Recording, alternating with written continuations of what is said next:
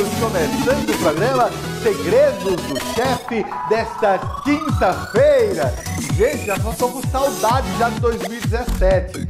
É, mentira, tô nada, tô doido chego logo em 2018, porque o tempo anda pra frente, não é não? Olha aí, você que nos acompanha aqui pela TV em tempo, no ar, os Segredos do Chefe desta quinta-feira, trazendo uma receita incredible, uma receita incrível pro seu ano novo, pra sua ceia de ano novo. Sabe o que a gente vai fazer hoje, Juninho? nhoque recheado, mas nhocão, tipo uma torta, recheado com um molho gorgonzola, que é uma verdadeira perdição. Gente, vocês vão simplesmente babar e amar a receita de hoje. Pega logo o caderninho de receita, canetinha, deixa separado aí, que eu quero aproveitar e desejar a você, meu amigo, minha amiga, que se encontra em casa nos assistindo agora, paz, saúde, harmonia e muita felicidade. Na meu aqui, ó. Muito boa sorte. É isso que eu lhe desejo. Agora, vamos cozinhar? Tome nota dos ingredientes. Vem comigo. Primeiros ingredientes para massa desse nhoque bem gostoso.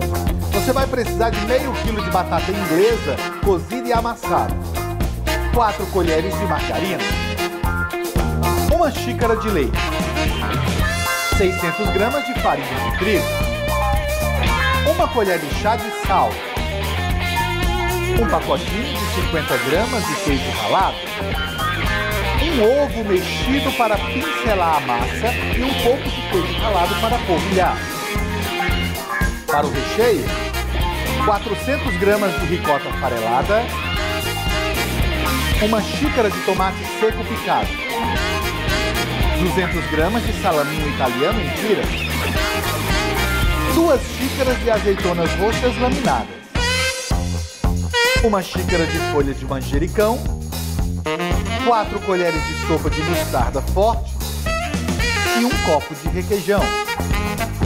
Para o molho, 3 caixas de creme de leite e 200 gramas de queijo gorgonzola farelado. Vamos lá! Primeira coisa, panela. Você vai colocar o leite para aquecer na panela, junto com a manteiga.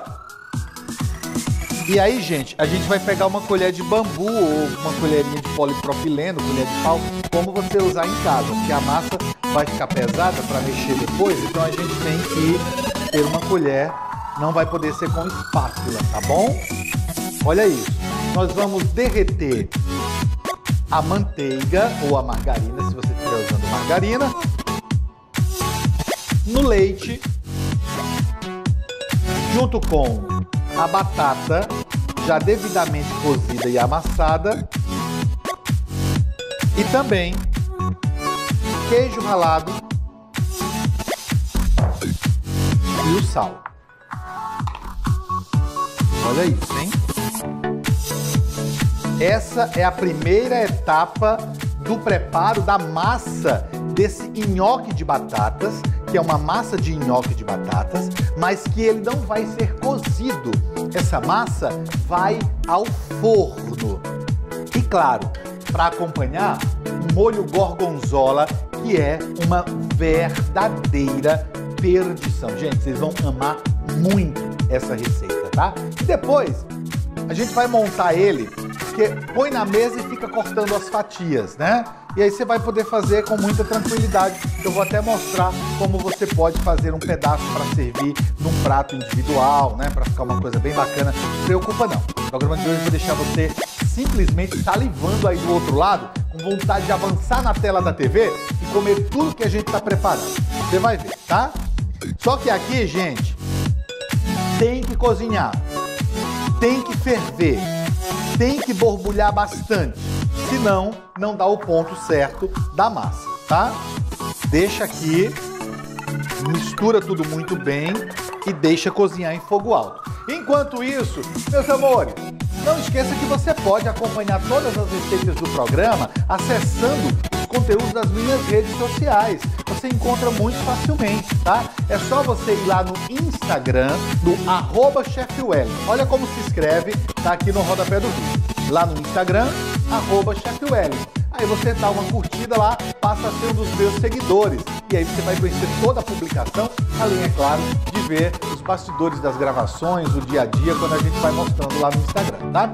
No Facebook, tem a nossa fanpage, onde a gente vai colocando as receitas que você clica e tem acesso a todo o conteúdo. Então é só você ir lá no, no Facebook e procurar Chef Wellington, como se escreve aqui, ó, o F mudo. Mas quando você entrar na minha fanpage, tem que clicar em curtir para você passar a ser um dos meus seguidores. E aí sim, ó, conteúdo delicioso que você vai encontrar todos os dias lá no Face, tá bom?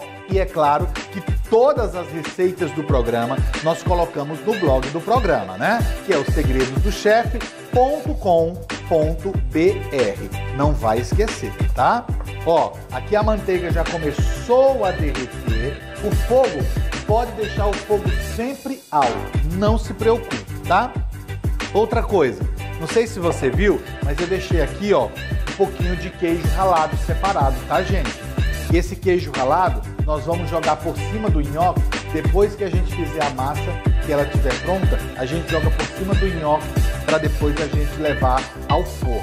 E aí vai ficar bem gostoso, tá? Olha aqui. Tem que ter pressa não. Tem que esperar cozinhar. Tem que esperar ferver, porque senão a gente não consegue dar o ponto certo usando a farinha, tá? E outra coisa, não tenha dúvida, pode usar os ingredientes, os ingredientes nessa quantidade que eu acabei de passar para você. A massa, ela fica super gostosa e o recheio, gente, é de um sabor sofisticado. Nossa, que é de dar água na boca em todo mundo, né? Principalmente pela praticidade que você vai descobrir de manusear essa massa depois que ela estiver pronta. Ó, tá vendo aqui, ó? Olha fervendo. Olha borbulhando, ó. Já começa a borbulhar. Aí agora a gente vem aqui, ó. De uma vez só, farinha de trigo. Agora a gente vai misturar tudo muito bem. A massa sobre uma superfície limpa. A gente sempre prepara o balcão de cozinha, sempre tudo muito limpo, né, gente? Você tem em casa também fazer a mesma coisa. Abre essa massa no balcão. Pra quê, chefe? Pra esfriar. Né? Olha a massa do nhoque. Ó, só um pouco de farinha para não ficar grudando na superfície. E a gente vai sovando um pouco dessa massa. O que é que a gente vai fazer? Olha isso. Eu vou farinhar bem a superfície aonde eu vou abrir essa massa, tá? Vamos lá. Eu vou tentar abrir essa massa com a mão, mas poderia ser também com um rolo de massa. Ó. Estende a massa um pouco para cá. E aí nós temos uma massa mais ou menos retangular, digamos assim, né? Deixa eu pegar aqui uma colher. E aí eu vou colocar a mostarda. Essa aqui eu vou fazer como um rocambole. A outra eu, pod eu poderia dividir a massa, botar uma sobre a outra com recheio no meio e pinçar as pontas, entendeu? Somente isso. Agora aqui em cima o queijo ricota. Bastante queijo ricota. Sobre o queijo ricota, aí a gente vai arrumar aqui, ó, os tomates secos. Se você quiser picar como instruo na receita, você pode, tá, gente? Espalha também o salaminho. Depois, azeitonas. Tem requeijão? Tem requeijão. Colheradas de requeijão e folhas de manjericão. Chefe, o que, que você vai fazer que isso aqui parece uma pizza? A gente vai fazer isso aqui, ó.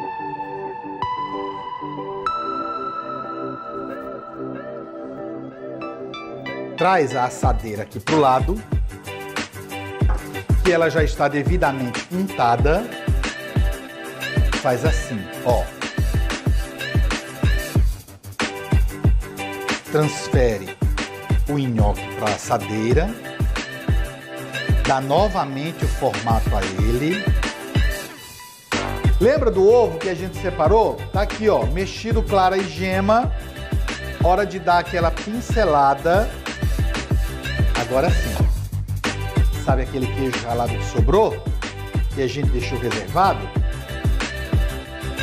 Vem aqui, ó, polvilhando sobre o nhoque. Queijinho ralado gostoso.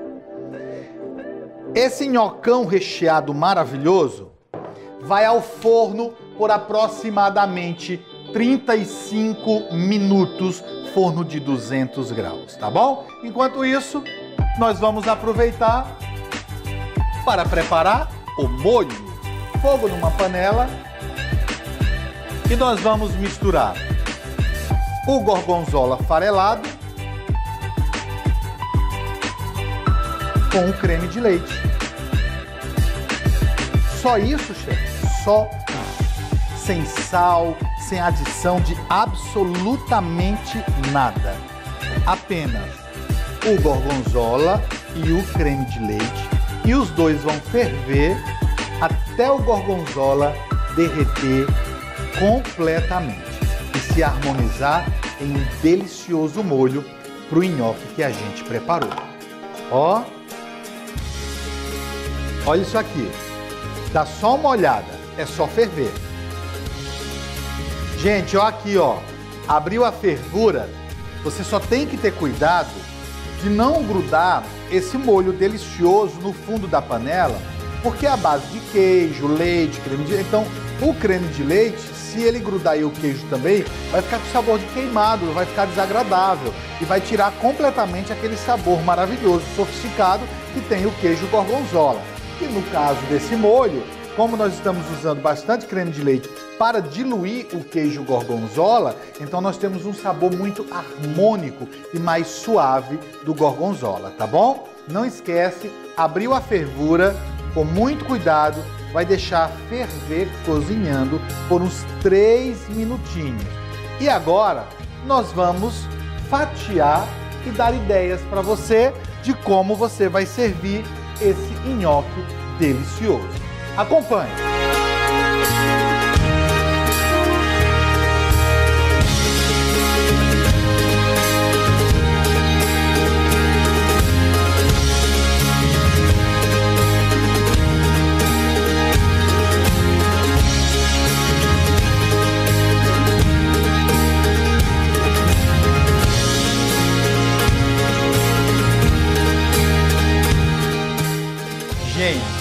E olha como ficou bonito e delicioso o prato depois de pronto. Olha só. Você viu que gostoso, né? Agora, imagina eu que estou aqui, ó, tete a tete com esse sabor maravilhoso. A você de casa, muito obrigado pelo seu carinho, pela sua audiência. Um beijo no coração. Não esquece, hein? Amanhã eu tô de volta, meio-dia e meio. É o último programa do ano de 2017. Amanhã, sexta-feira, dia 29, meio-dia e meio, aqui na sua TV em Tempo. Beijo, até amanhã. Tchau, tchau.